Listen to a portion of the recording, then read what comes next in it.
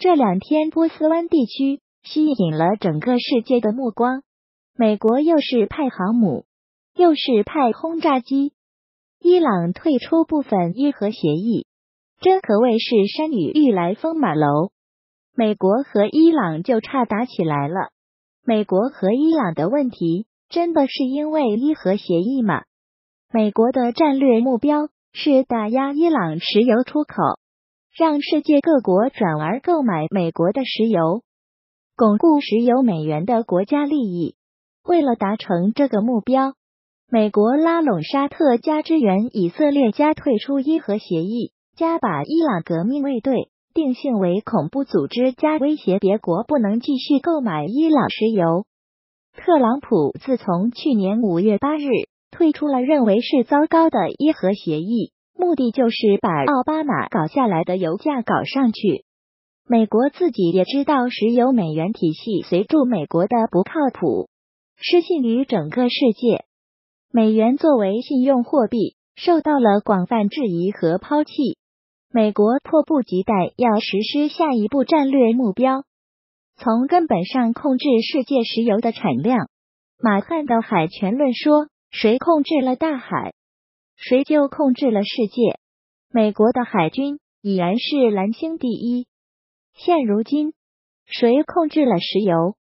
就控制了世界，这话不知道是不是特朗普说的，但肯定不是鲁迅先生说的。美国一跃成为世界石油大国，美国一直是隐藏的世界石油大国，石油一直都是战略资源，世界石油工业的开端就在美国。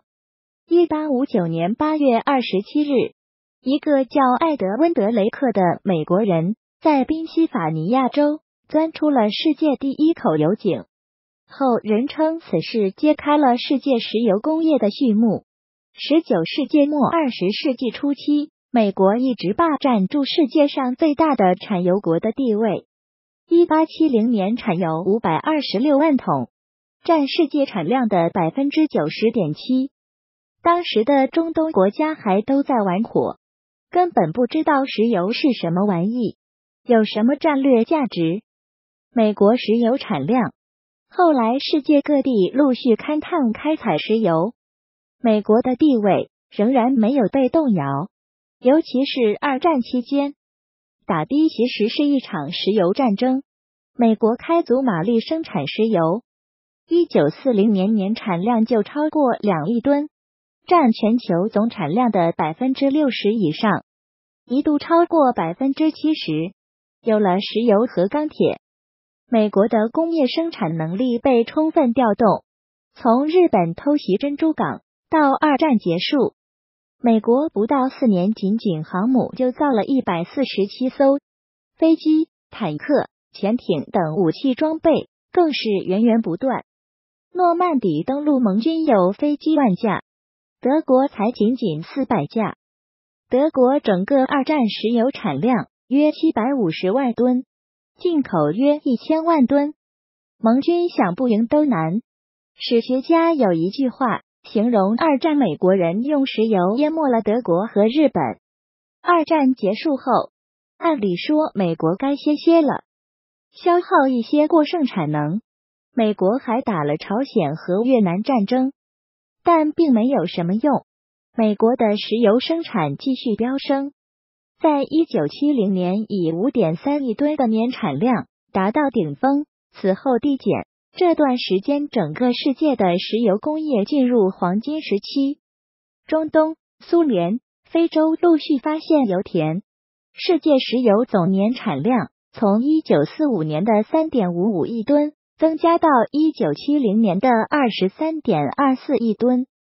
美国的石油政策变化。真正给了美国一巴掌的是一九七三年爆发的第一次石油危机，让美国发现原来有钱也买不到油。那个时候，美国产量下降，需求却增多，进口石油更便宜。各种资料上是低石油机导美国工业生产能力百分之十四，但是仅从石油供应层面。对美国的影响并不大。石油危机引爆的是整个资本主义金融体系。美国当时探明的石油储量并不多，剩余可开采油量只有几十亿吨，远远比不上中东产油大国。石油这种战略消耗资源越用越少，美国也不傻。从第一次石油危机开始，美国开始制定石油战略，总原则就是储存自己的实力，买别人家的石油，战略储备石油。一九七五年，美国出台能源政策和节能法，严格限制美国原油出口。一九七七年七月二十一日，美国正式开始实施其战略石油储备计划。此后，美国历届政府基本上遵循这条总原则，开启了买买买、存存存、不卖不卖的道路。美国石油战略发生变化的标志性事件，应该是二零一五年底，美国正式解除长达四十年的出口禁令。这是美国战略转变的历史性一步，由买家开始转向卖家，技术出奇迹。在石油解禁背后，不得不提的就是页岩革命，这也是美国的底气所在。页岩油气早在一八二一年被美国人首次开采出来，这玩意储量特别大，但是就是不好开采，技术达不到还死贵，远远比不上石油便宜，所以被雪藏了近二百年。美国在二零一一年爆发页岩革命。美国取代俄罗斯，成为世界最大天然气生产国，而且探明美国蕴藏两千六百四十亿桶石油，过半为页岩油，超过俄罗斯和沙乌地阿拉伯的石油储量。当时的媒体甚至宣称石油时代的结束。二零一一年，石油价格在一百美元以上，国际石油市场就这么大。现在突然进来一个美国产油大国都不满意，于是联起手来搞美国页岩油。因为技术原因，必须在国家油价超过七十美元的时候才有利润。于是产油国们联手打压油价，他们的目的只有一个：搞美国，搞美国，搞美国。美国被他们一搞，国际油价被腰斩，一路狂跌。美国轰轰烈烈的页岩革命就被搞得偃旗息鼓了。现在特朗普为什么会卷土重来呢？原因非常简单，得益于水力压裂核心技术的发展，美国的页岩油变得更加经济，而且会随着技术的进一步发展更加实惠。由于各大油区情况不一，开采成本目前大致在四十至六十美元之间。而当前的布伦特原油价格在六十美元之上，黄线代表原油产量，蓝线表示钻机数，说明技术提高了。那么美国的储油量到底有多少呢？根据美国 EIA 能源署二零一八年公布的资料，美国商业探明储量达到了三百九十二亿桶，世界排名第十三。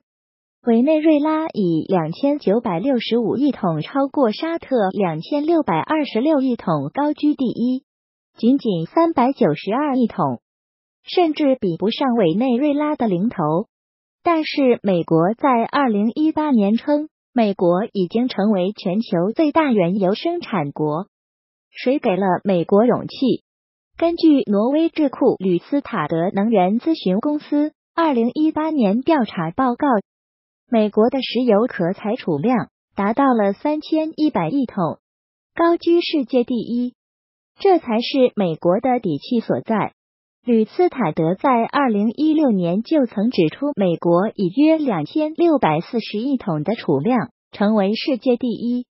俄罗斯、沙特、美国三个顶级石油大佬排排坐，吃果果，在石油圈里叱咤风云。二零一五至二零一七年，美国原油分月出口量的变化，二零一七年明显提高。据美国政府预测，到二零一九年底，石油产量会攀升至一千一百万桶日。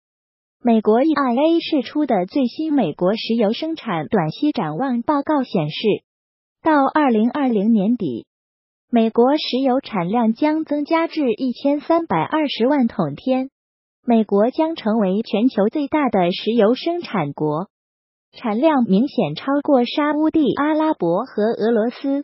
特朗普想通过石油实现伟大美国的目标。